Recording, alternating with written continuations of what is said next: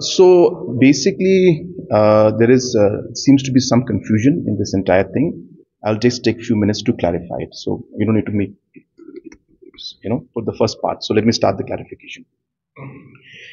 The uh, state government, after realizing that uh, the CUET exam was uh, made mandatory by the government of India for Central University entrance test exam, that is, uh, we realized that many colleges which were affiliated to NEHU, uh, the students had to give exams of the CUET even though they were not applying for any course in NEHU. They were applying for admissions in their respective colleges. But because of the fact that the affiliation of these colleges were to NEHU, by default, they had to take the CUET exams. So, for example, a student who's applying to Nongtalang College, he may never actually come to NEHU and study here, but he or she would have to give the CUET exam, even though he or she was applying for uh, uh, for Nongtalang admission, college in Nongtalang admission, in College. Now, why did that happen? That happened because we don't have a state university. And we didn't have a state university for the past 50 years because NEHU was there. And hence, the need for a state university never arose.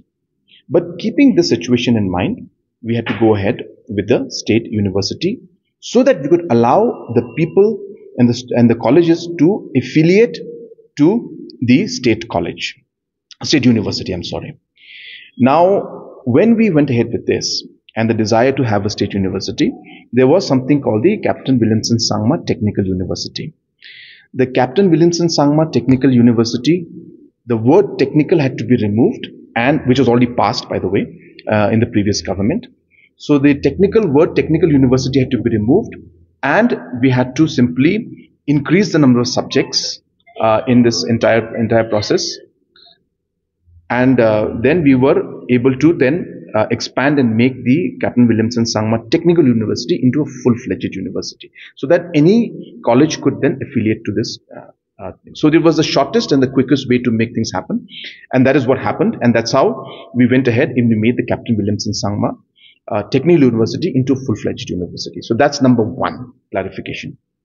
Number two, very important to understand, there is no mandatory law or rule that says that the colleges have to affiliate to Captain Williamson Sangma University. It is purely the choice of the college concerned. It is their choice. If they want to affiliate to NEHU, they can affiliate to NEHU. If they want to affiliate to Captain Williamson Sangma University, they can affiliate to Captain Williamson Sangma University. There is no mandatory provision in it, but the option is being given because if those colleges continue to affiliate to NEHU, then the students who are applying in that college will have to continue to give the CUET exams in the future. So that's the second point that it is not mandatory for any college to apply or affiliate to NEHU, to, to, to Captain Williamson Sangma University. It's a choice of the, of the particular college. Number three is that the entire process of affiliation will be done in a very smooth manner. So we intend to provide a green channel where colleges which are already affiliated to NEHU, we will fast track their affiliation into Captain Williamson Sangma University. So therefore, the process of affiliation will be very, very smooth and nobody has to go to any corner or this or that or any office or any particular other headquarters, nothing like that. So we will create provisions for everybody to that they can apply. Number four, and most important, that we will be having different campus sites in different parts of the state. So definitely for taking care of all the issues of all the colleges that are in uh, the eastern part of our state, uh, especially in Shillong and other adjoining areas, there will be a full-fledged office that is going to take care of all the issues concerned so that nobody has to travel anywhere. Uh, but as I said, this university, uh, in the bill that was passed before this government came in, this was uh, the Captain Williamson Sangma Technical University was headquartered in Garo Hills and that was done before our time uh, in the previous government. And we simply went ahead and made this a full-fledged university because it was the fastest way to do it, keeping in mind the urgency of the CUET exam, uh, so that people don't have to give that.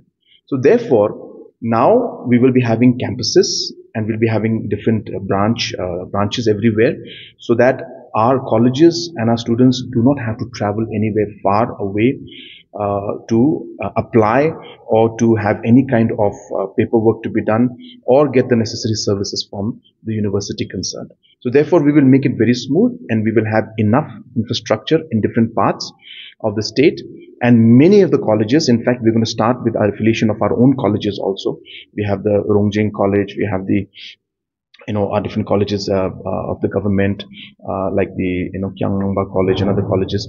We'll start the affiliation to, uh, to the Captain Williamson Sangma there. And again, I reiterate, to ensure that there is no uh, confusion and no problem and no uh, kind of problem for these colleges, we will ensure that the offices and the campuses are there in different parts of the state to facilitate their affiliation and future support to the state, up to the colleges.